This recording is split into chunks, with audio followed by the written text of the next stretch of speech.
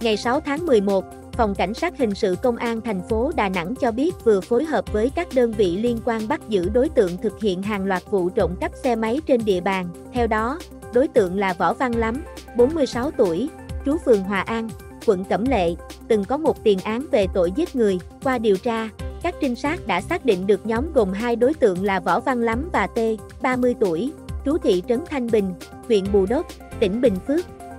T cũng là đối tượng có 3 tiền án về tội trộm cắp tài sản, sau khi thu thập thông tin.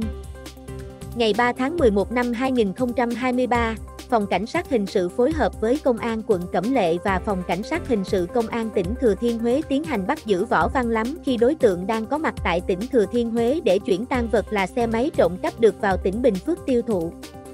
Sau khi Võ Văn Lắm bị bắt giữ, đối tượng T đã tìm cách bỏ trốn. Từ đầu tháng 10 năm 2023 đến nay, Lắm và T đã thực hiện trót lọt 11 vụ trộm cắp xe máy trên địa bàn các quận Hải Châu, Cẩm Lệ, Ngũ Hành Sơn, Thanh Khê, Liên Chiểu và huyện Hòa Vang, thành phố Đà Nẵng với tổng tài sản thiệt hại hơn 300 triệu đồng. Hiện vụ việc đang được cơ quan chức năng mở rộng điều tra, đồng thời truy bắt đối tượng còn lại để xử lý nghiêm theo quy định của pháp luật.